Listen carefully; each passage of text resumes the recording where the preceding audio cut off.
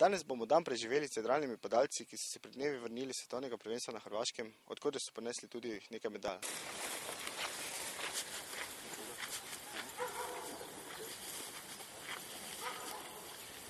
Pred nekaj dnevi ste se slovenski dralni padalci vrnili s svetovnega prvenstva na Hrvaškem kot eh, prvo mesto ekipa in vi osebno s petim mestom.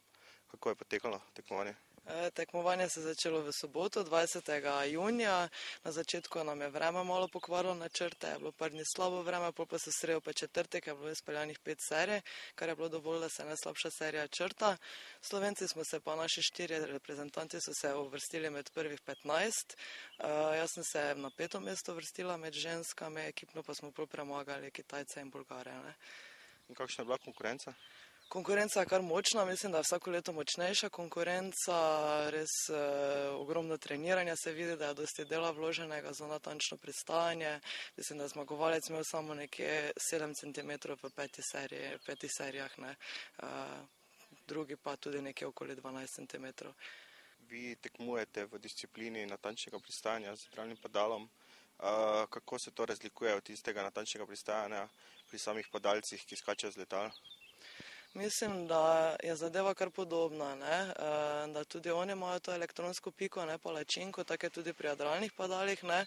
Eh, s tem, da pri eh, jadralnih padalci moramo pristati na noge. Ne?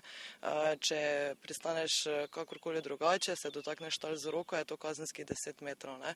Tako da se pač to, da dotik, prvi dotik z nogo se šteje. Ne? Pa koliko je oddaljen od same pike v centimetrih, ne, in tisti, ki je najbližje piki, tisti je pač pol zmagovalec. Ne.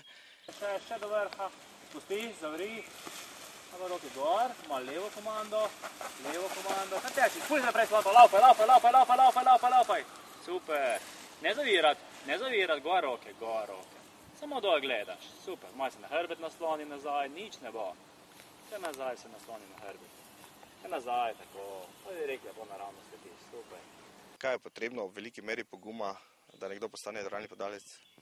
Uh, jaz pravim, da bolj kot pogum uh, je tista uh, želja po letenju, ki veliko ljudi ima pač zakorenjeno v sebi, da bi pač rad letel in um, uh, tisto želja se pač jadralni podalec lahko hitro izpolni.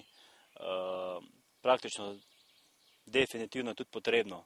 Eh, pogum za to, da lahko človek leti. Eh, Sprem marsikdo misli, pa, da je ravno padalstvo zelo vem, adrenalinski šport in tak. Eh, jaz lahko potrdim, da je to drugače in tudi tisti, ki se pač ravno padalstvom ukvarjajo, vejo, da to res gre za užitek. Uh, ko letiš. Je pa res, da včasih tudi doživimo kako adrenalinsko stvar, predvsem o neupoštevanju vremenskih pogojev in predcenjanje lastnih sposobnosti lahko pride do tega, da je lahko stvar tudi kar močno adrenalinska. Ne? Gospod, ste vi že v tem štartu? Čustvo, tako, pa do njega malo desno. Ni še prehitro si spustil, pa vredo je, gremo naprej se zlomi, naprej se zlomi, roki gor, gor roke, bolj dolgi koraki. Malo desno, malo desno, naprej se zlomi, malo desno, tako super, zelo lepo, fajn. Надеюсь, на пристанем. Къде е на пай? Съм пазим на комби.